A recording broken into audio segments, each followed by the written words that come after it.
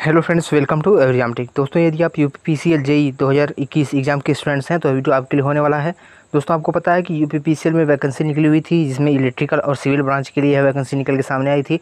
इसका एग्ज़ाम भी मार्च में होने वाला था, लेकिन कुछ कारणवश कोरोना बीच में आ गया और यहाँ पे एग्ज़ाम आपका पोस्टपोन हो गया था।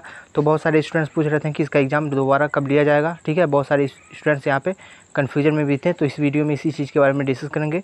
तो वीडियो को लास्ट ज़रूर देखिएगा, उससे पहले यदि आप नए हैं चैनल पे तो चैनल को तो सब्सक्राइब कर दीजिए। मात्र एक सेकंड का समय लगेगा चैनल को सब्सक्राइब करने में, उसके बाद आप जुड़ेंगे। फिर कोई वीडियो अपलोड करूँगा तो उसका नोटिफिकेशन आपको सबसे पहले मिल जाएगा।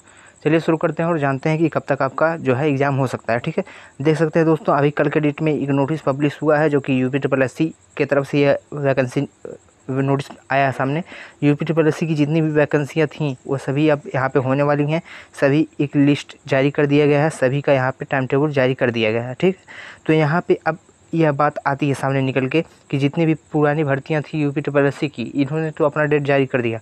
लेकिन यूपी पीसीएल या फिर यूपी आरोनल की जो भी इंजीनियरिंग लेवल के एग्ज़ाम होने वाले हैं, उनका आखिर एग्ज़ाम कब तक आएगा, कब तक कब तक इनका जो है एग्ज़ाम डेट निकल के सामने आएगा।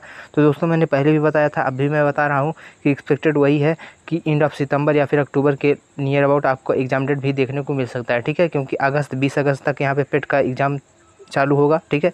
उससे पहले संभावना यहाँ पे कम है कि आपका एग्ज़ाम देखने को मिले, ठीक है? सितंबर या अक्टूबर में ही आपका एग्ज़ाम होने वाला है, ठीक? तो इसी हिसाब से अपनी तैयारी रखिए। अक्टूबर में यू पी ट्रिपल एस का भी एग्ज़ाम होगा, जो 2018 में वैकेंसी निकल के सामने आई थी तो इसी बीच आपका भी एग्ज़ाम होने वाला है, ठीक? तो आप इसी अनुसार प्रिपरेशन करिए, कोई क्वेश्चन होगा कमेंट बॉक्स में लिखिएगा। फिर मिलेंगे अगली वीडियो में, तब तक के लिए जय हिंद, जय भारत।